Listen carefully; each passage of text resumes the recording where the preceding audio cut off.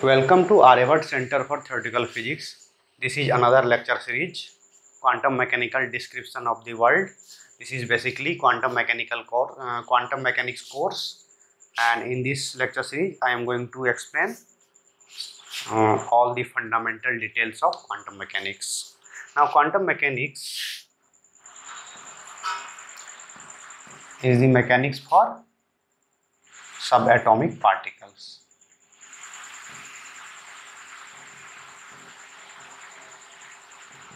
And it is very counterintuitive theory which is radically different from classical mechanics.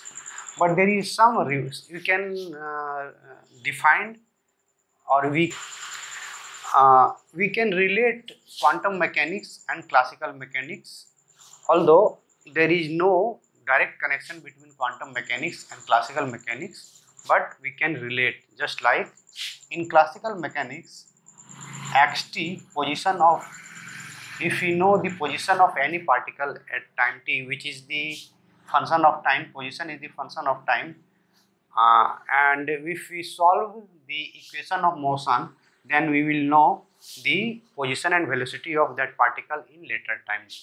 So this is the classical mechanics same way instead of position uh, in classical mechanics in quantum mechanics we use what we call psi xt which is wave function. And this wave function contains all the information related of the quantum system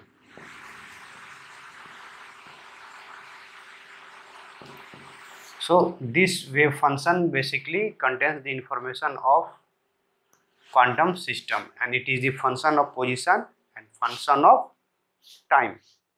And uh, just like in classical mechanics we solve the equation of motion to know the uh, the evolution of classical system. Same way we solve Schrodinger wave equation uh, Schrodinger wave equation to know the evolution of any quantum system in time.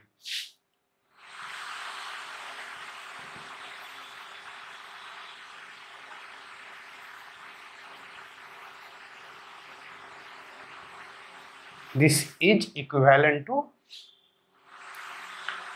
equation of motion. And behavior of particle of mass m mass m in potential vx if uh, there is a particle quantum particle of mass m in the potential vx then we can write Schrodinger equation t is equal to by 2m uh,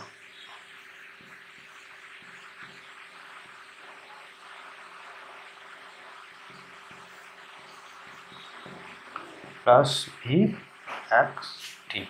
This is the form of Schrodinger equation.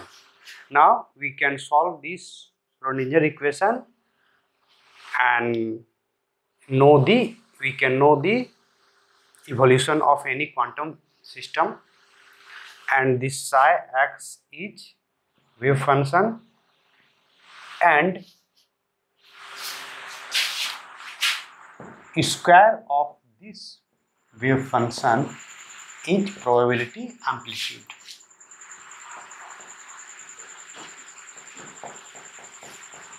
Probability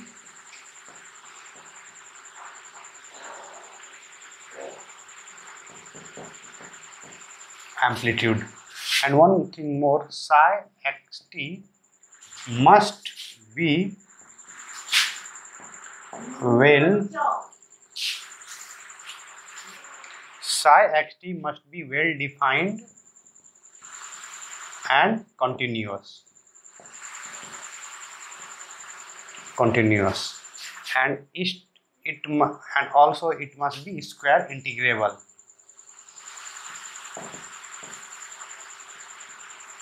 square integrable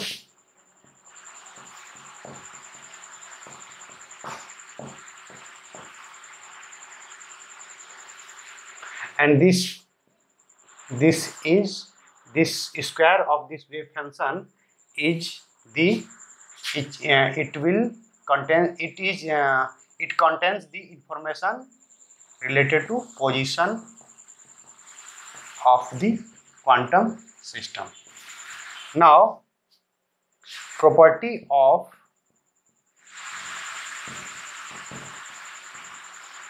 uh, well defined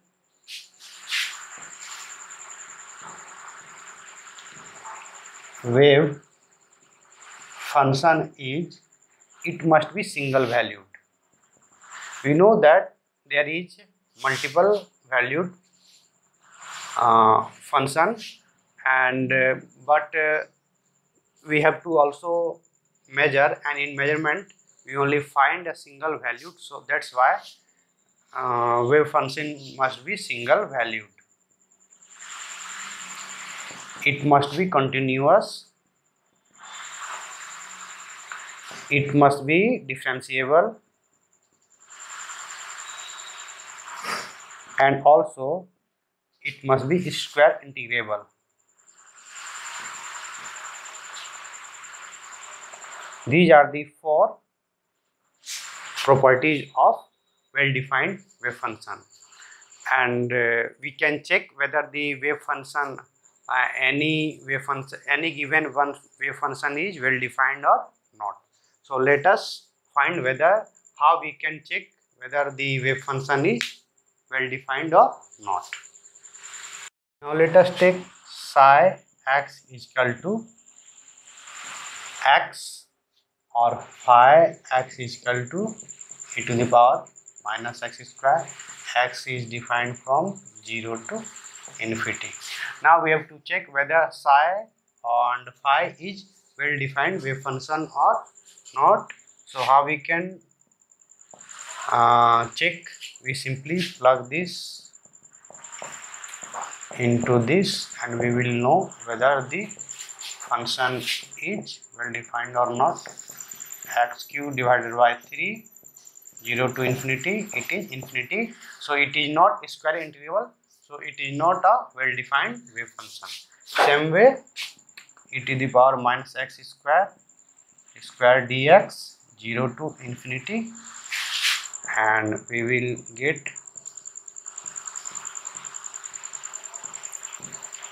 and we will get root pi by 8 this is the value of this and uh, you can see that it is a valid wave function.